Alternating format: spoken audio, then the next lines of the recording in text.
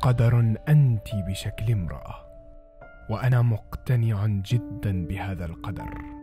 إنني بعضك يا سيدتي مثلما الآه امتداد الوتر.